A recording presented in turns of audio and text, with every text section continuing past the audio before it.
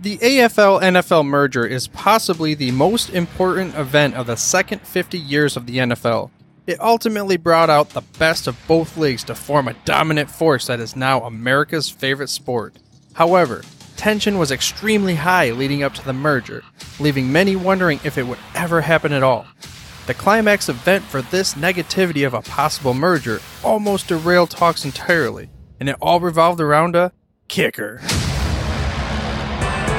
Welcome to the Football History Dude podcast, where each episode is a journey back in time to learn about the rich history of the NFL.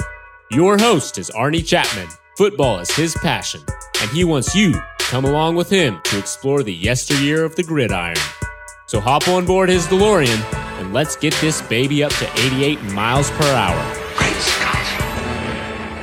This time, as we step off our DeLorean, the date is June 8th, 1966, and we are in New York City. This would be the day where Pete Rozelle officially announced the AFL and NFL merger.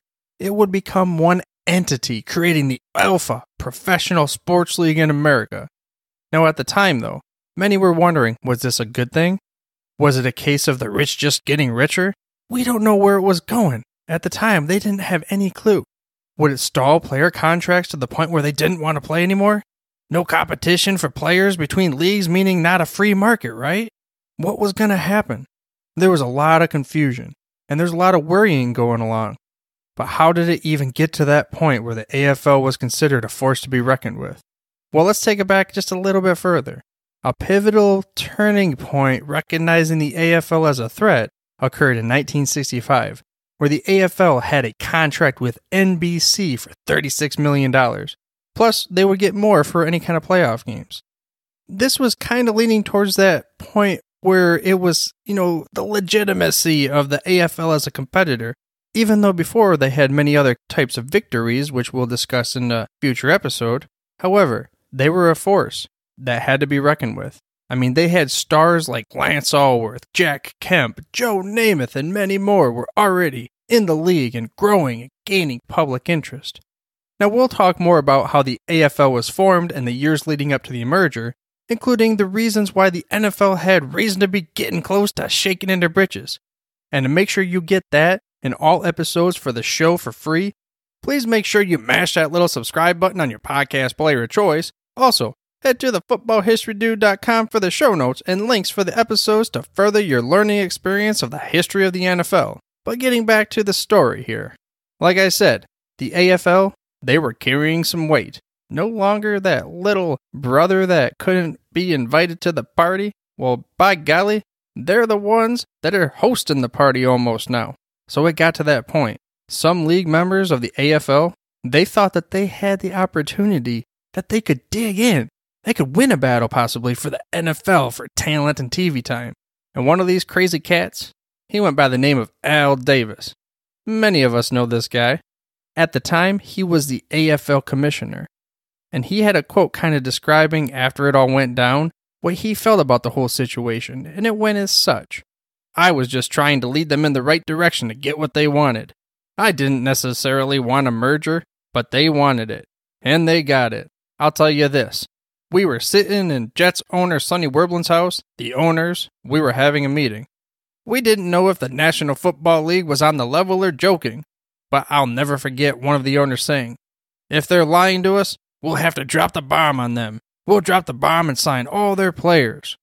Which was kind of what it was at the point of. 1966, the AFL NFL war, man, it reached its peak. This was the height of the war between the AFL and NFL.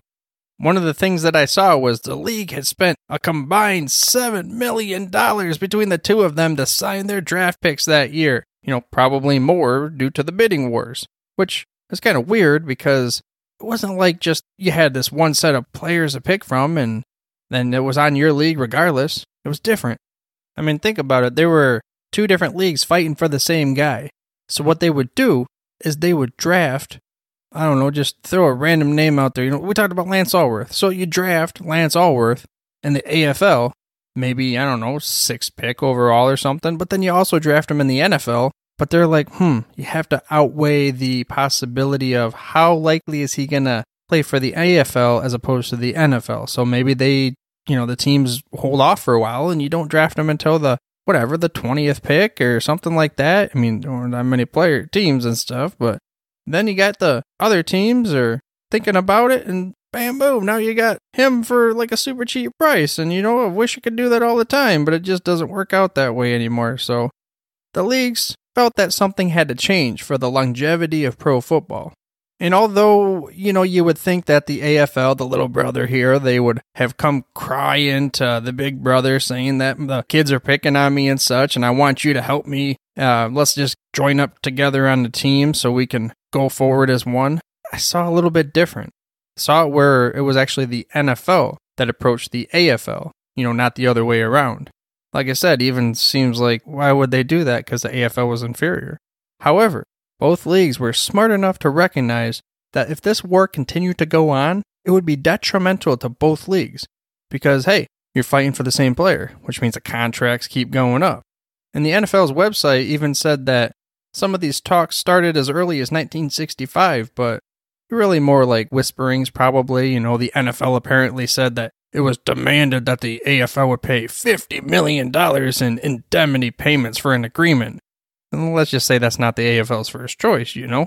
Not to mention, like we said, we have this Al Davis cat, and he's all, you know, gonna stick to his guns and we ain't gonna give in and that kind of thing. But he wasn't the only one in the AFL that felt like they had a legitimate shot at overtaking the NFL at some point in time, so there had to be something that would be done to kind of bring them both together. And in the spring of 1966, a series of secret meetings about a possible AFL NFL merger occurred between Lamar Hunt of the Kansas City Chiefs and Tex Schramm of the Dallas Cowboys. Now, supposedly, this uh, happened behind Al Davis's back. You know, he didn't know about it. Again, take no prisoners, we all burn with the ship kind of mentality, so they had to kind of be careful about it.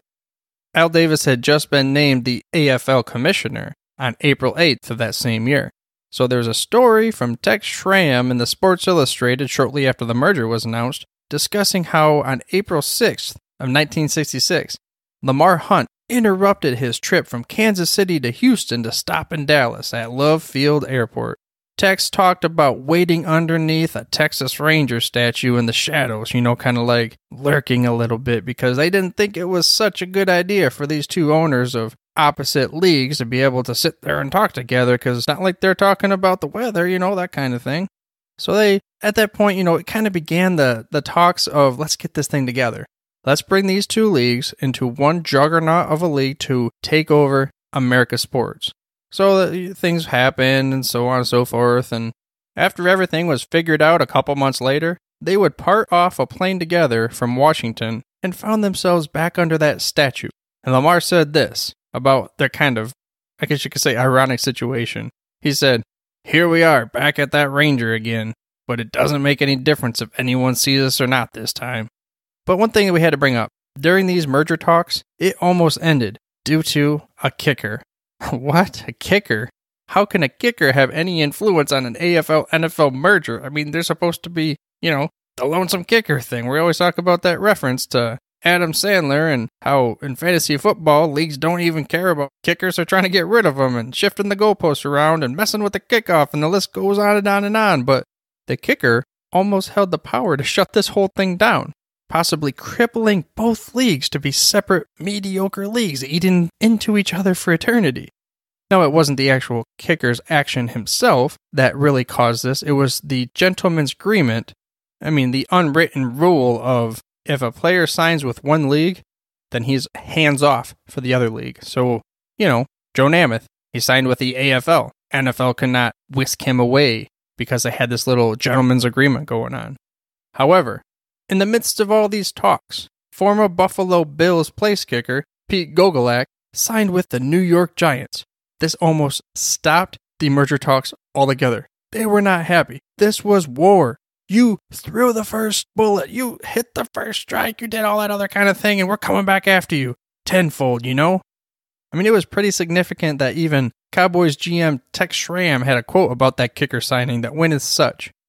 That nearly destroyed merger talks. What Giants owner Wellington Mara did was completely legal, but it was also a big thorn in any negotiations.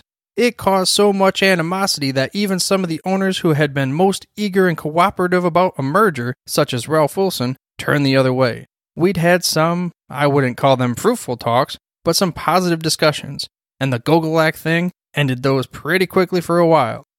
So things were turning worse. They were not headed in the right direction.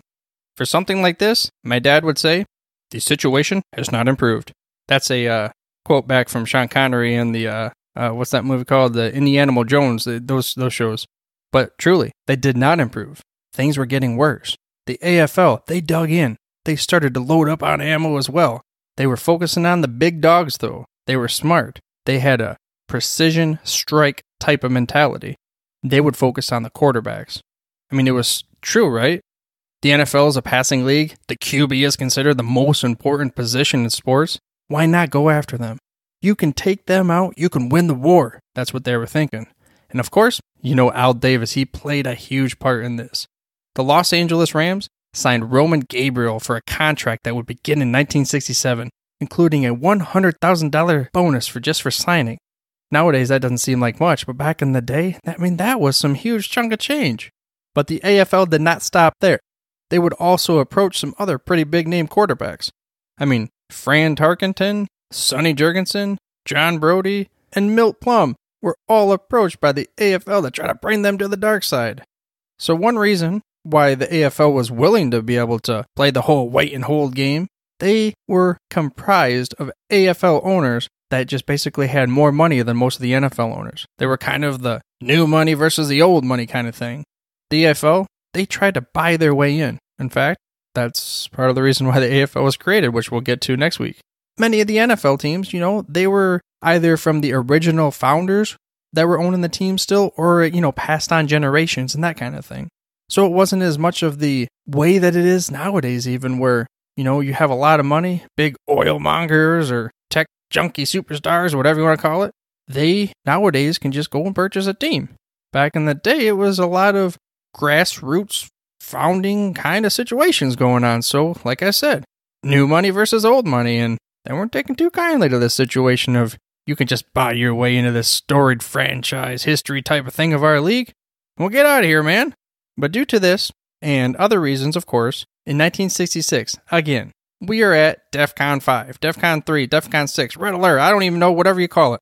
But the situation was not looking too well. It was pretty bleak. I mean, the NFL, they were still too big to be taken down, but the AFL, they were not going anywhere especially not an Al Davis run league. I mean, his kamikaze style type of play. So again, it was mostly in secret, but the talks of the merger would end up intensifying, finally resulting in the announcement of that merger on June 8th, 1966, from Pete Rozelle. And there, there were a few different stipulations, and of course, you know, anytime you have an agreement, you gotta have something on both sides of the party going on. And part of this agreement, the leagues would be combined to include 24 teams, to be increased to 26 in 1968 and 28 by 1970, or at least uh, soon thereafter, you know, horseshoes, hand grenades, and teams in the AFL NFL merger, you know, that kind of thing. And I'm sure there are many reasons why they decided to put these clauses into their agreement, but it was said that an expansion commitment was primarily kind of like a, we'll call it a pre strike, not a counter strike against Congress. Very possible that the Congress of our country would put an axe to the merger because, especially in these areas where there weren't teams yet, you know, these governors and state politicians and such, they may try to cite them for antitrust laws. So that's why the NFL and the AFL leaders decided that they would put this in there as part of a way to try to push it through Congress. Some of the agreement also included that all teams would stay in the metropolitan regions and they would not move out nor could any new team come into a city by either league, you know, creating that whole competition type of thing and making both of them mediocre and kind of causing some chaos there for the league owners. I mean, along these same lines, this agreement would put a kibosh finally to Milwaukee trying to lure the Green Bay Packers away from Green Bay. So you have this AFL NFL merger, probably Packer fans to thank for the reason why Green Bay never lost their team. Another agreement or part of the agreement would be that the AFL indemnities would be paid to NFL teams sharing a market. From what I understood, it was kind of a way to say, okay, hey, you know, we're here, we're sharing the market with you, and we're coming into your league, but this is kind of us, I guess you could say, buying our way in and being part of the club. So both leagues also, starting in 1967, would have a common draft. No more bidding for which player we're going to get and hoping that if I pick this dude in the fifth number overall pick, he'll actually come to my league and sign with me as opposed to going to the other guys. And with the side note, the first ever draft pick of the new NFL was Bubba Smith, a defensive end from Michigan State University. So then the other kind of like, I guess you could say, administrative part, scheduling and such goes, it was kind of declared that leagues would play separate through the 1969 season the AFL versus AFL teams and NFL versus NFL teams. On preseason games, they'd play against each other, but this would start with an annual AFL NFL World Championship game to be played between the champs of both leagues, you know, right away, immediately. Thus, creating the first ever Super Bowl. You know, more on that later in an episode. Then in 1970, the leagues would officially merge into one entity, continuing under the name of the National Football League, with two separate conferences. And you guessed it, the AFC and the NFC. But with this merger in 1970, the history and the records of the AFL would not be lost nor forgotten. They would kind of merge into the NFL lore. So then we could continue to have any kind of, you know, Lance Alworth type of crazy records and that kind of thing. Hey, yeah, you count. You're, you're in the NFL. Yeah, Joe Namath, you're in the NFL now. When this all happened, the AFL would end up abolishing their office of the AFL commissioner and recognize the NFL commissioner as overall chief, which was Pete Rozelle at the time.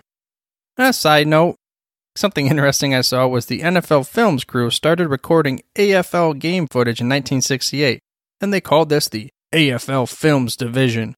But really, it was just a fancy name. It was just the same NFL Films dudes, you know, wearing AFL jackets. But hey, you gotta make some kind of compromise, right?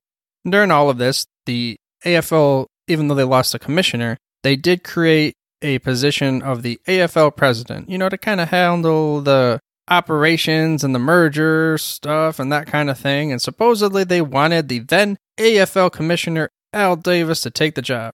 But he was, first of all, not too thrilled with the meetings that happened behind his back, and he didn't like that. And uh, also, supposedly, he was not about to submit himself as a subordinate to Pete Rozelle. He would only be on the top, and that is it. So he resigned on July 25th of 1966, and he went back to just being an owner coach of the Raiders. So, all this being said, like I uh, discussed, they had to take it before Congress. They went in front of the 89th U.S. Congress to try to be exempt from antitrust law sanctions and get this thing pushed through. New York Congressman Emanuel Celler chaired the sessions.